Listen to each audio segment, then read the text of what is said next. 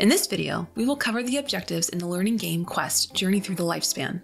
With each character, you will have a set of objectives you need to complete in order to fully finish your assignment. There are two places you can find these. The first is when you're introduced to your character.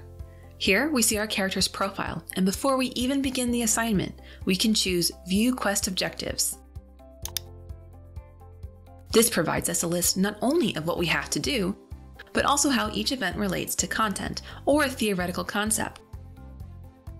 Once you have begun the quest, you can locate what objectives you have yet to complete by clicking on the objectives icon here.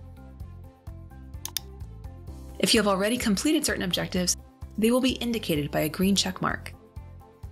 Otherwise, you can choose which objective you'd like to complete next, and a yellow navigational arrow by the feet of your character will tell you which direction to go. Some quests will have a lock symbol next to the objective. The lock means that the player will have to wait for an event to happen, or a prerequisite event must be completed in order to unlock the objective. In this instance, the player must wait until the teacher calls on the students for circle time in order to complete the objective. And that covers objectives in Quest Journey Through the Lifespan.